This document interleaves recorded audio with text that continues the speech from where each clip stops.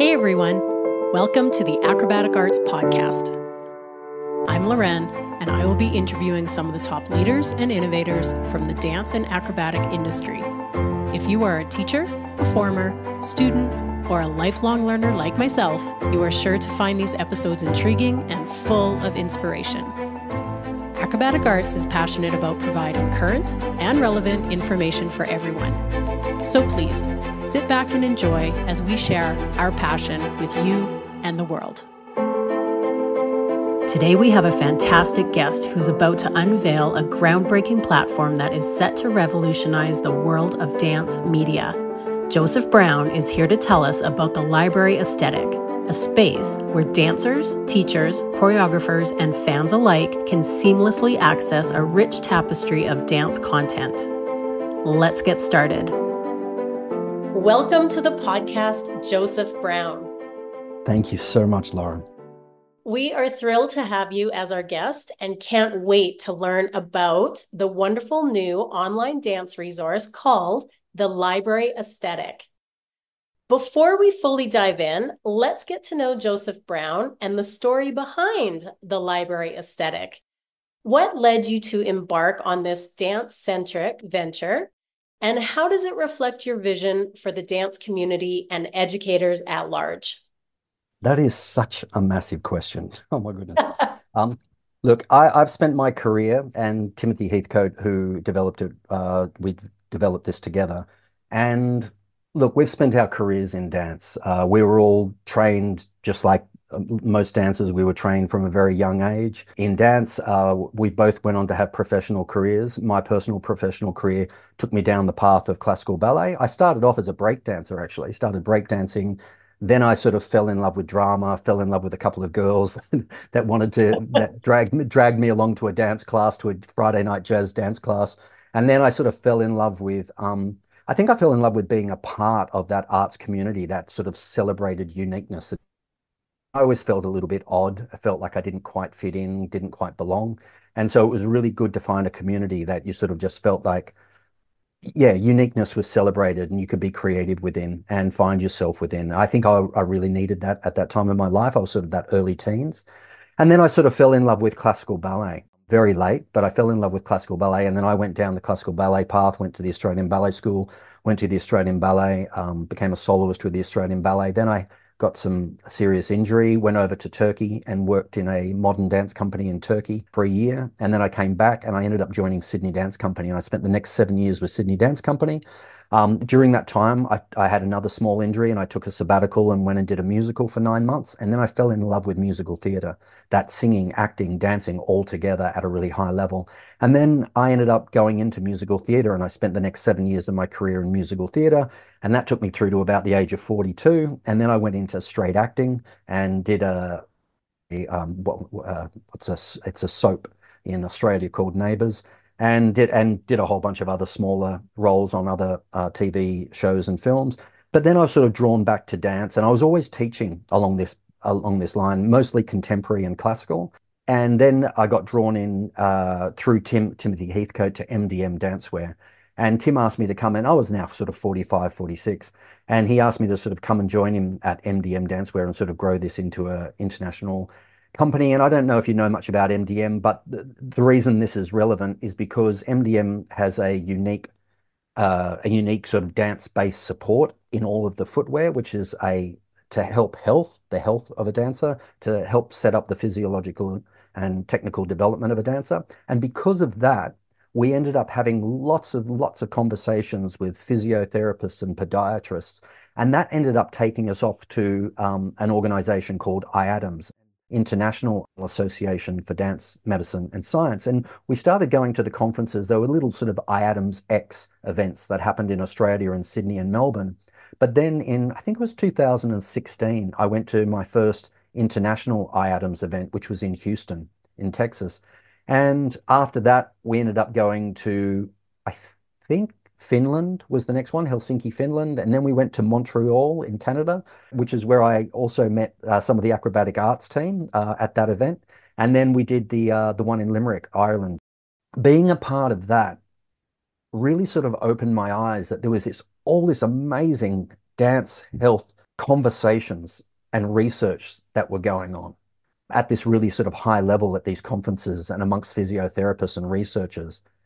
But we spend most of our time local ballet school. That's where we spend our time talking to teachers, um, talking to studio directors and principals, trying to communicate with dancers, trying to talk to them and educate them about our products.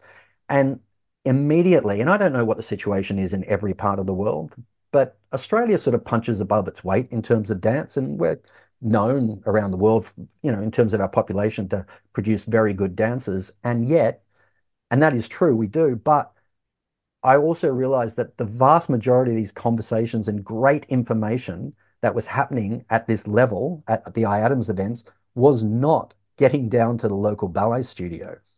And even though we've got the internet and social media and Instagram and, and all these uh, different things, most of that information is not feeding into the local dance studios. And there's like a lag that, and I started to think that this is like a generational lag or maybe even 10, 20, 30 year lag for this information to get down. And why is that? And so we kind of started to brainstorm and think, what can we do? What can we do to kind of get all of this great dance health information. And then we started obviously exploring other places like YouTube and Instagram and different syllabus around the world and realizing how much great information is out there. But it's all diversified. It's diversified and dispersed across, you know, TikTok, Instagram, Facebook, YouTube, separate websites, individuals like your Marie Walton Mans or your Lisa Howells, your Zach Jones, Sally Harrison's, Dr. Nikki Kay.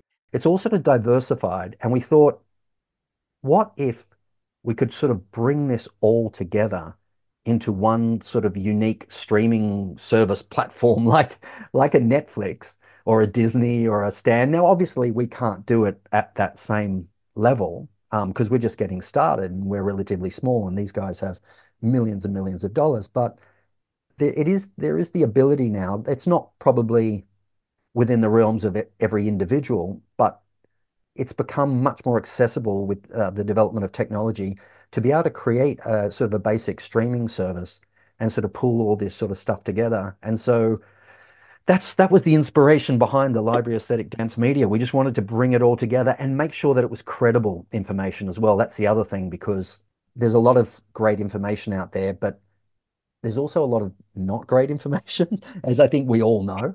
And yeah. it's like and how do you how does a young dancer or even a young teacher how do they know how to discern between what is credible and reliable information and what isn't so one of the other really important features in creating the library aesthetic dance media was that um, it was reliable and that's why we reached out and that's why it was fundamentally important to reach out to organizations like acrobatic arts like the royal academy of dance like IADMS because we needed them to provide sort of a foundation and that credibility for the platform. Wow, you know, I was actually at the IADMS conference in Montreal.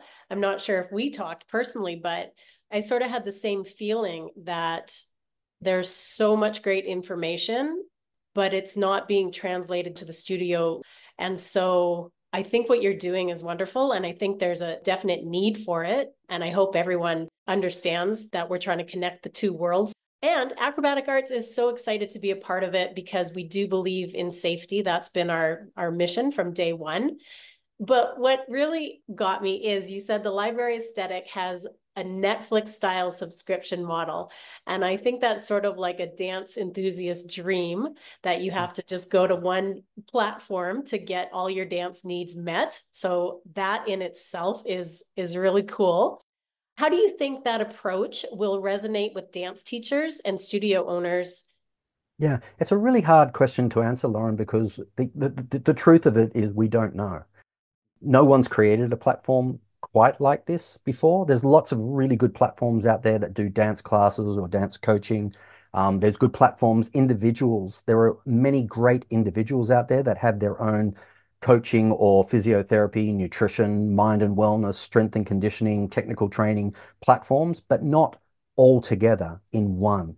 And obviously, we're hoping because there's a couple of reasons streaming services are fantastic. Okay. And we, and most of us know the obvious things that all of these streaming services are based on volume. They're hoping to get, a, they, they keep the price down nice and low, and then hopefully they get a lot of eyeballs. And we're, we're trying to emulate that, that model. But one of the great things about a streaming service that I love, and I think most of us do, is that you end up finding stuff that you never would have found. You find stuff that you didn't even know you were looking for.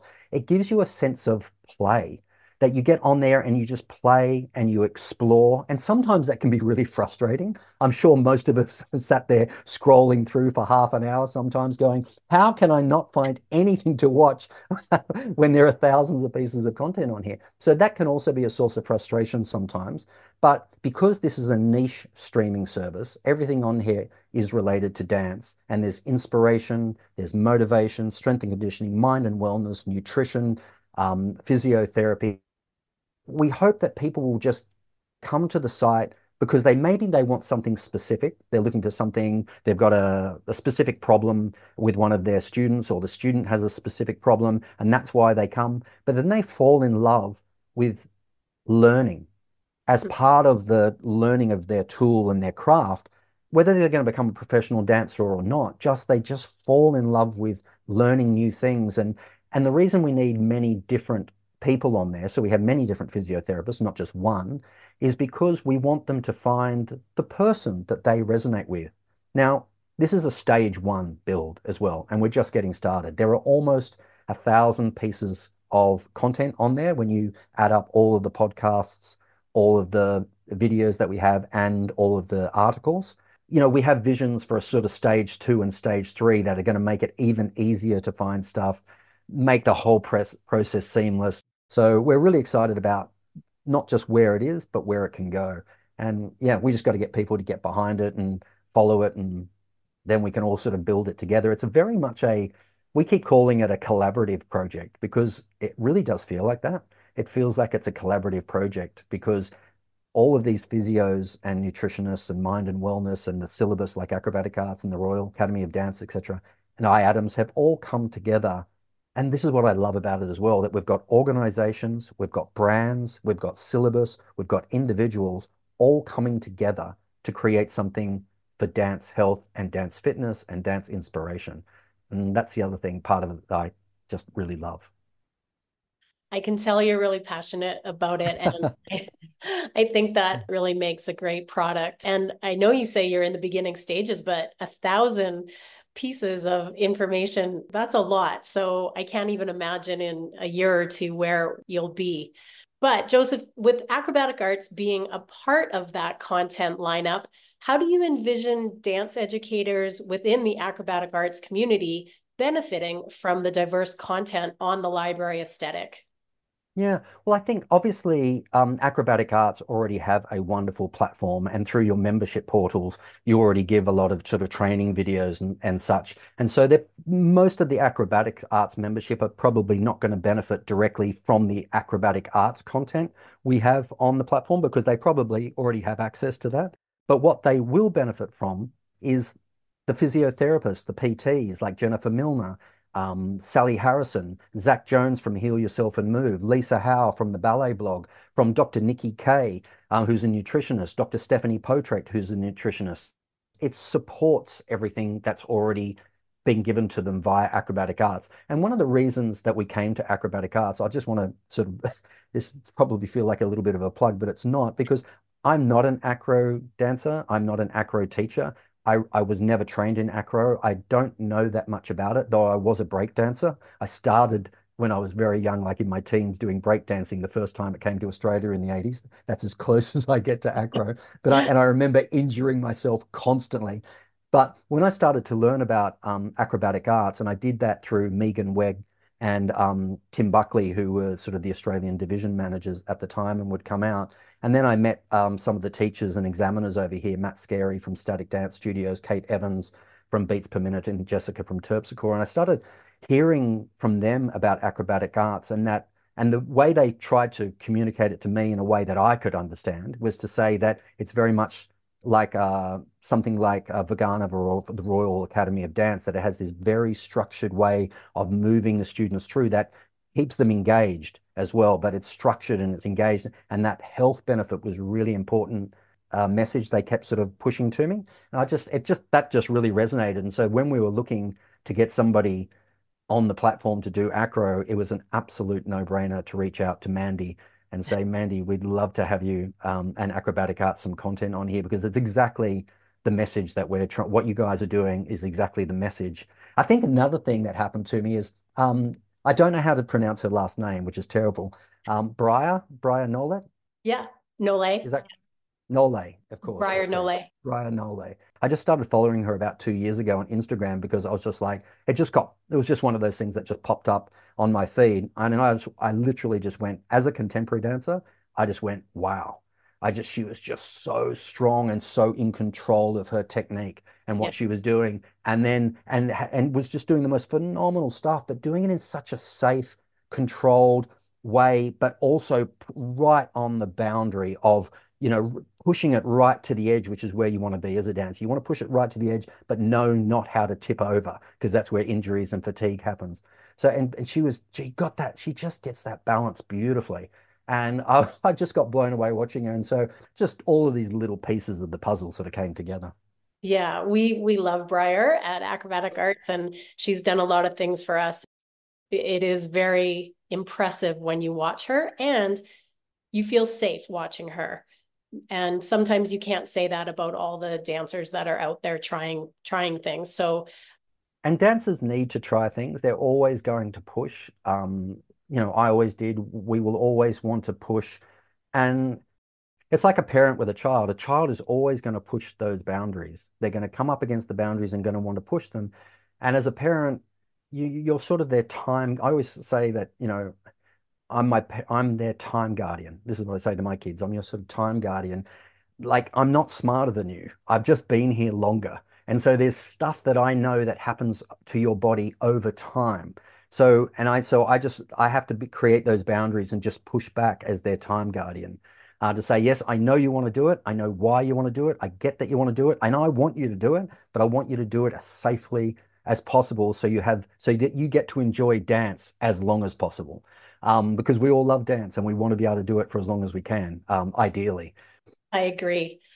Now, I get the library part of the library aesthetic, right? With all the um, information and reading, watching. What is the aesthetic part? Well, aesthetic just, I mean, aesthetic can mean many things, but aesthetic basically means beautiful, doesn't it?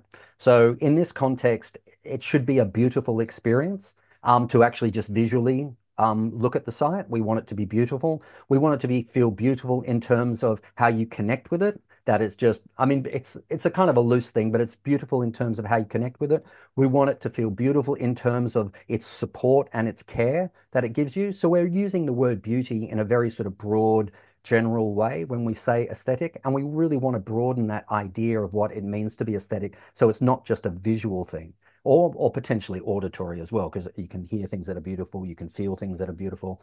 Um, but you know, it's that idea that it's supportive, that it's got a, a sense of community about it. I mean, that's that community part of it is something we really want to build in time, a sense of inclusivity, and that's the other thing that we need to build, continue building in time as well, and that can all be seen as beautiful as well. So it's a beautiful, safe space, and that's really what we wanted to create when we created the library aesthetic. And that's why it got called the library aesthetic. Oh, that's so wonderful. Josef, you are one of the main people that is behind the content delivery. How do you ensure that the material is not just informative, but also hits that sweet spot for dance educators and studio owners, especially those thirsty for knowledge, like those tuned into the Acrobatic Arts podcast? Yeah, it's a really tough question, that one. I'm not, um, when you say that I'm behind the content, I don't create content. So just to clarify, um, I'm basically sourcing content and then putting that content onto the platform. Just wanted to clarify that quickly. Um, how do I do it? I guess I go back to probably my first answer. It's the people that I connect with. And those people are people that I've met mostly through IADMS or through acrobatic arts or through the Royal Academy of Dance.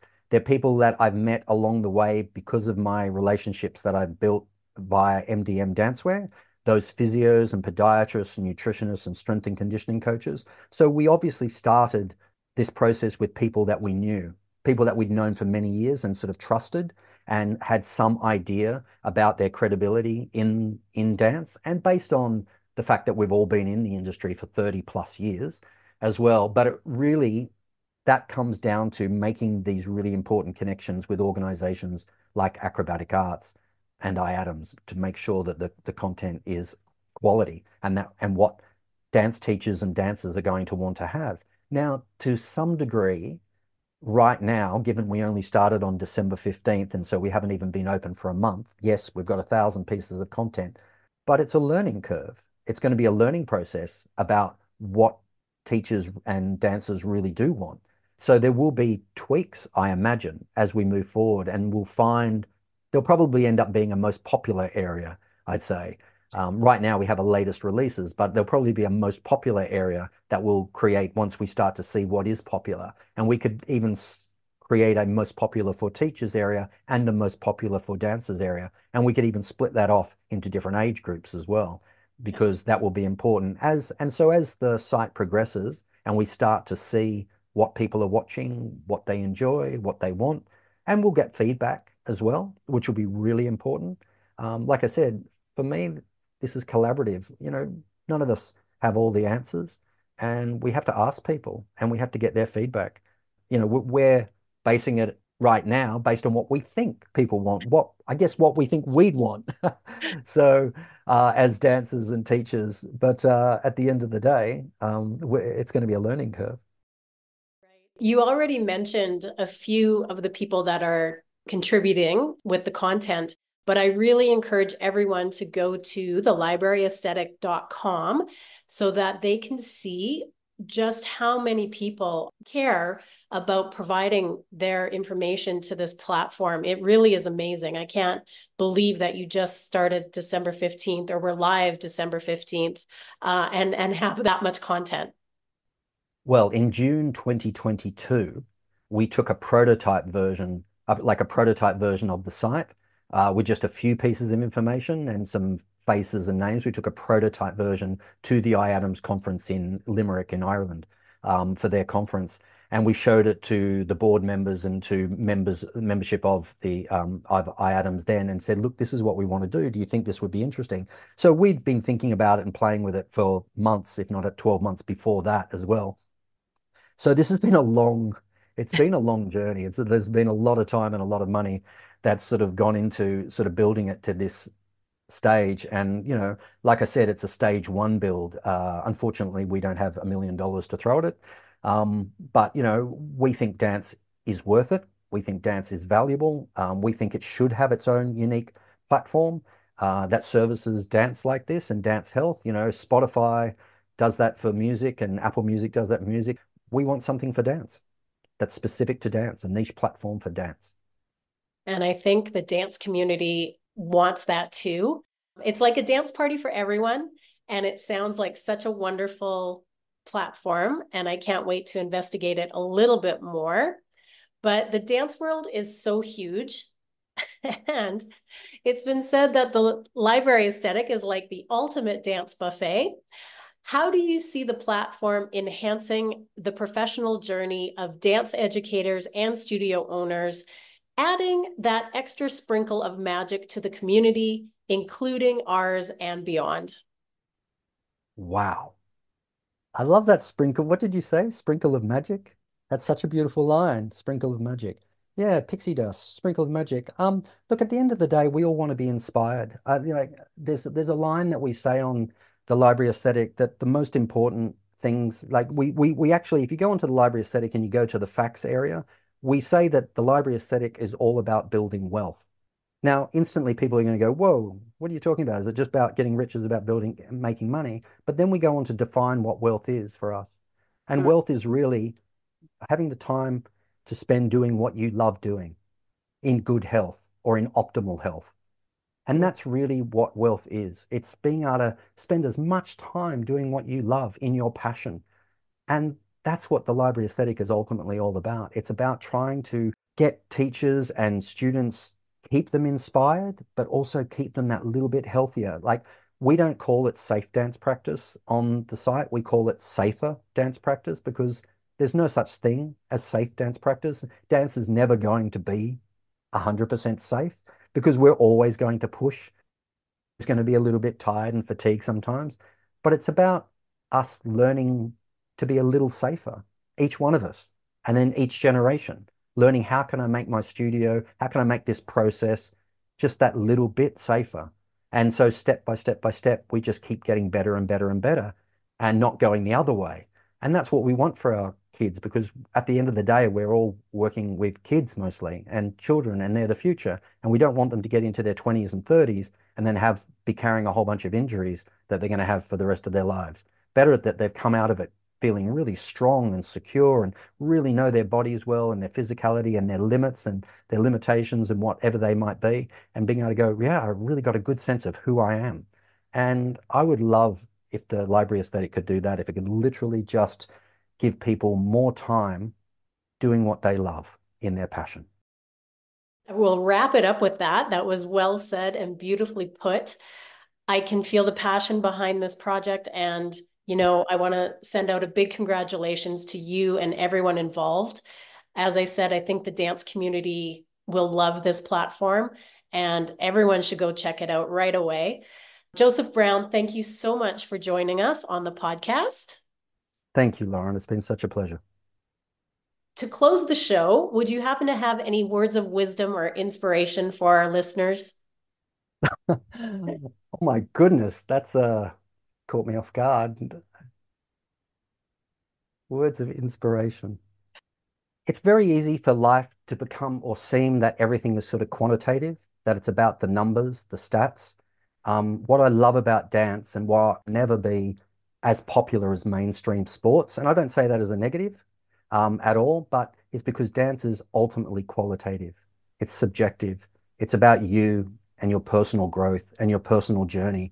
And you can't ever define yourself in opposition or, or to somebody else with that. It really is your journey. And only you know why you're making the choices that you're making and why you're doing the things that you're doing. And so just sit with that sit deeply with that and enjoy enjoy that journey. Thank you so much, Josef Brown, for sharing the exciting details about the library aesthetic. To our listeners, make sure to check out the platform and immerse yourselves in the world of dance like never before. Until next time, stay strong, stay flexible, and stay tuned for more captivating episodes of the Acrobatic Arts Podcast. Thanks for listening, everyone, and have a great day.